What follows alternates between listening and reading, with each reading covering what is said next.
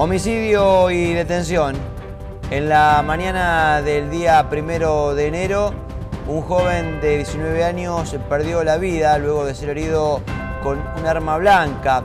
Por el hecho, un joven de 20 años quedó a disposición de la justicia. ¿El, hecho cómo está caratulado? En primera instancia, homicidio simple. Más pirotecnia que en Navidad, los festejos por el Año Nuevo llevaron incumplimiento con la ordenanza sancionada a fines de 2017. En ese sentido, Matías de Matei marcó que esperaban mayor compromiso. La gran mayoría lo acató y, bueno, hubo un grupo que, no lo hizo y obviamente, eh, más que nada, a quien más podemos controlar es a los comerciantes y va a caer el peso de, de la ordenanza con la sanción, eso de ya.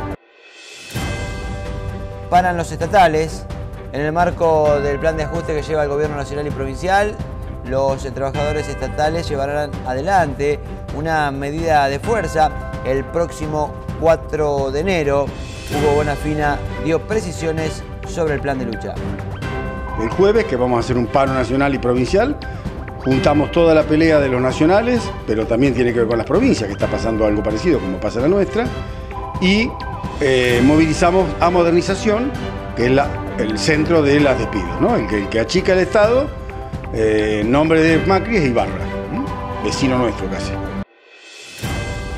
Se viene Viví Mercedes, organizado por la Dirección de Cultura Municipal y también con la presencia de otras áreas. A partir del próximo fin de semana se llevarán a cabo distintos espectáculos en diferentes puntos de la ciudad. Arranca con música en las plazas, en la Plaza San José, que es siempre donde se arranca. Eh, van a ser todos los fines de semana de enero y el primero de febrero porque después el 8 comienzan los carnavales.